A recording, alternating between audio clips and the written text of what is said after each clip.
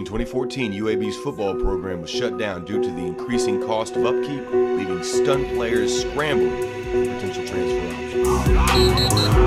It's bigger than this, man. It's bigger than what you think. It's not about numbers. It's about family. In about four hours, hundreds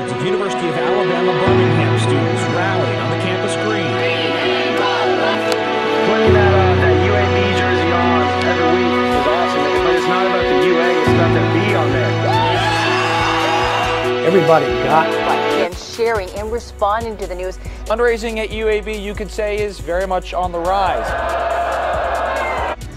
As of today, we are taking steps to reinstate the football rifle and bowling program.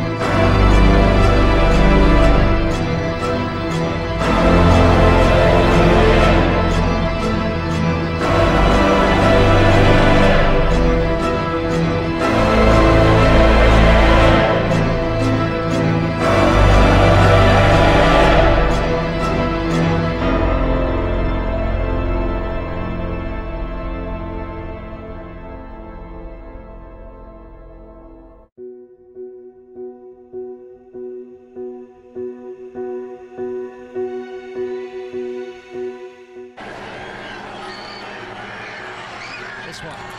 Picked off. Roderick Thomas.